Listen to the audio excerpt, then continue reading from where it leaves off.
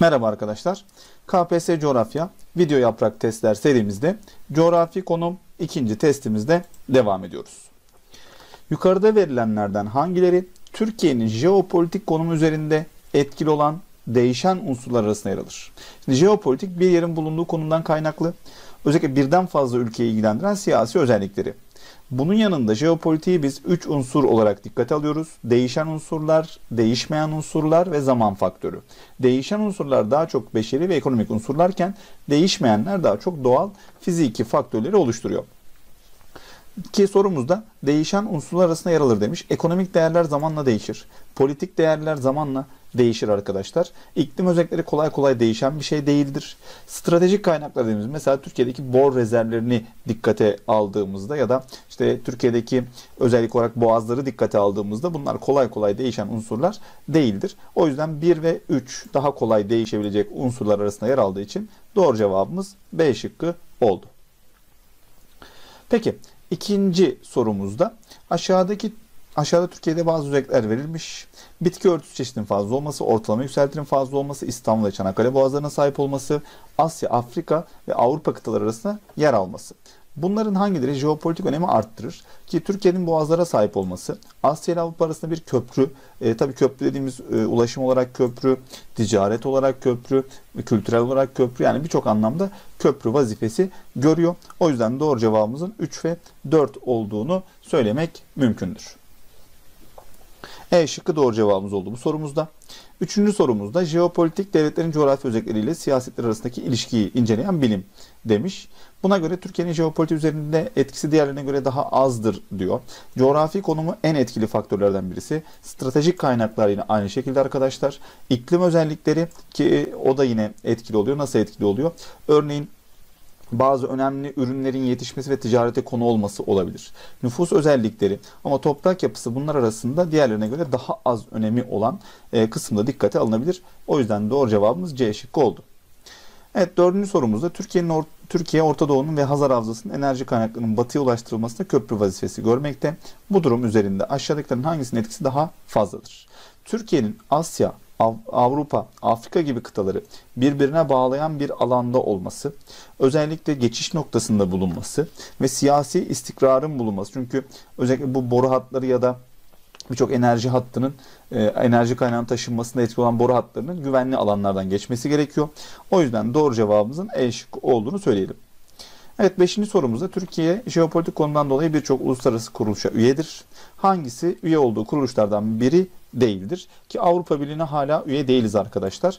Diğer kuruluşlara üyeliğimizin olduğunu söylemek mümkündür. E, o yüzden doğru cevabımız A şıkkı oldu. Altıncı sorumuzda Türkiye'yi doğrudan ilgilendiren sorunlardan biri değildir demiş. Şimdi Suriye sorunu Türkiye'yi sınırımız olduğu için doğrudan ilgilendiriyor. Kıbrıs sorunu yine doğrudan ilgilendiriyor. Ama Filistin sorununun doğrudan ilgilendirdiğini söyleyemeyiz. Batı Trakya yine Ege'deki e, kıta sahanlığı sorunu gibi sorunlar bizi doğrudan ilgilendiriyor. Sınırımızın olması gerekiyor. Buna benzer soruları çözüyoruz ki e, dikkat etmek gerekiyor. Evet diğer sorumuzda Türkiye'nin jeopolitik önemi arttıran bazı önemli özellikler var. Bunların e, tabi e, bazıları olumlu bazıları olumsuz e, etki yapabiliyor. Örneğin işte boğazlara sahip olmamız olumlu ama boğazların e, boğazların özellikle korunması ya da elde tutulması tabii ki riskleri de beraberinde getiriyor. Bu yüzden işte üç tarafın denizlerle çevrili olmasına bağlı olarak da deniz kuvvetlerine daha fazla önem verilmesi gerekiyor.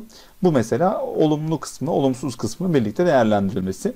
Boğazlar vasıtasıyla Akdeniz Karadeniz arasındaki deniz yolu ticaretini kontrol edebilmemiz bu olumlu yanı. Kıtaları birbirine bağlayan bir konumda olması transit ticaret olumlu yanı. Üç tarafının denizlerle çevre olması sebebiyle denizler üzerinden gelecek tehditlere açık olması bu olumsuz yanı. Hani dediğimiz gibi olumlu yanları da var, olumsuz yanları da var. Ki olumlu yanlarını özellikle daha fazla hani olumsuzluğa gitmeyecek şekilde değerlendirmek açısından e, tabii ki güçlü olmamız gerekiyor. Güçlüyseniz o jeopolitik sizin için oldukça e, fayda sağlayabiliyor. Enerji kaynaklarına yakın konumda olmamız ee, özellikle Hazar Havzası ve yine Orta Doğu kısmında. Tabi Orta Doğu e, petrol zengini bir alan. Bu olumlu bir yanı. Ama özellikle oradaki sıcak çatışma bölgelerinin bulunması olumsuz bir yan. Dinamik nüfus yapısı sebebiyle güçlü bir orduya sahip olması yine aynı şekilde. O yüzden doğru cevabımız C şıkkı oldu. Evet 8. sorumuzda Türkiye'nin çevresinde yaşa- yaşanan çatışmaların nedenleri arasında petrol ve doğal gaz kaynakları var. Büyük devletlerin çıkarları var. Bunun yanında baktığımızda etnik farklılıklar var arkadaşlar. Ee, ki e, bu yüzden doğru cevabımız 3'ü de oldu. Hazar Havzası dediğimiz gibi özellikle Orta Doğu Havzası bunun yanında oradaki çıkarlar etnik farklılıkların orada bulunması sık sık sık çatışmalara sebep olabiliyor. Tek bir ırk olsa hani aralarında anlaşabiliyorlar ama birden fazla etnik grup e, aralarında çok fazla çatışabiliyor. Evet 9. sorumuzda ülkemizi doğrudan ilgilendirir demiş. Batı Trakya sorunu arkadaşlar bizi doğrudan ilgilendiriyordu. Çünkü sınırımız var. Ama Bosna Hersek ve Makedonya kültürel, işte dini bağlantılarımız olduğu için o yüzden e, doğru cevabımız B şıkkı oldu yalnız 2. Evet 10. sorumuzda Türkiye'nin Kafkaslardaki jeopolitik önemi üzerinde diğerlerine göre daha fazla etkili olmuş diyor. Ki boru hatlarının Türkiye'den geçmesi bu Kafkaslardan özellikle TANAP, bunun yanında baktığımızda Bakü Tiflis Ceyhan boru hattı gibi önemli boru hatlarının Türkiye'den geçmesi yeni projeler tabii en son açılanlardan TANAP'ı biliyoruz özellik olarak. O yüzden doğru cevabımız A şıkkı oldu. Evet bir soru çözümünün daha sonuna geldik arkadaşlar. Bir dahakinde görüşmek dileğiyle iyi çalışmalar diliyorum.